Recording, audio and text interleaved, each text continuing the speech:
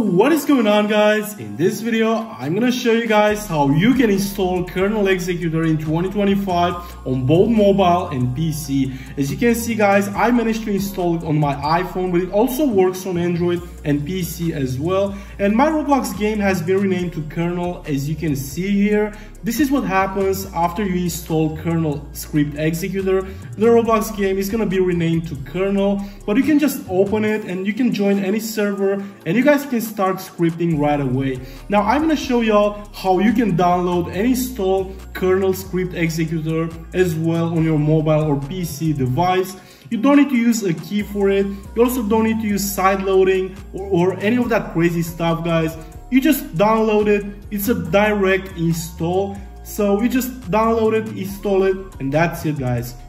Now I'm gonna show y'all how you can get it as well. You're gonna have to use an AI called NoxGPT to get Roblox script executor, uh, KRNL executor. This is the AI that I used guys. Uh, once you're here, just go ahead and type KRNL.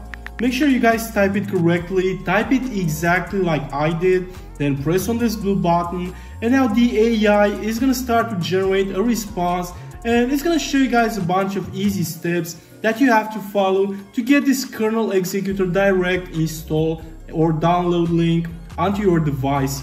Um, if Delta Executor is not gonna work for you guys, this Roblox script executor works just fine if you cannot install Delta. So KRNL executor is basically an alternative to Delta executor. So anyway, once the entire response has been generated, just go ahead and scroll up guys press on this green button and as you can see guys this is the latest version of KRNL executor. This is the new update. So just press on start to get the, the latest version the new update. Press inject but make sure you guys have roblox installed on the same device because NoxGPT is gonna inject the Roblox script executor directly into your Roblox game. And after that, after the process is completed, after the AI is gonna download and install all these files, your Roblox game will be renamed to KRNL like it was for me here and you can just open it and start scripting right away.